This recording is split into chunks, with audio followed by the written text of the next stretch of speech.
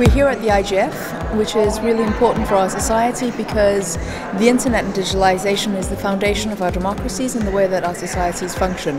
The great thing about the IGF is that people from all stakeholder groups come together and discuss their ideas about how the internet should be ruled and regulated. One thing I like about the IGF is that it's not purely technical, is that it doesn't mean that you'll deal with equations and architecture and devices, but also about impact what does it mean for this technology to reach people and how are they affected and impacted? Everybody should be involved. We need to involve people from the top level to the grassroots.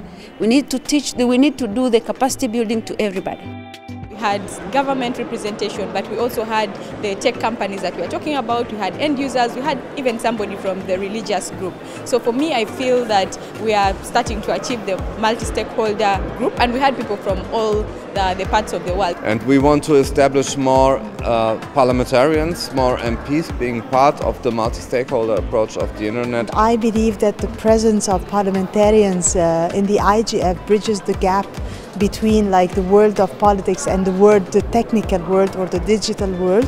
The most important thing that can come out of this IGF is a path forward to coming to agreement on policies and principles to keep the internet safe and secure.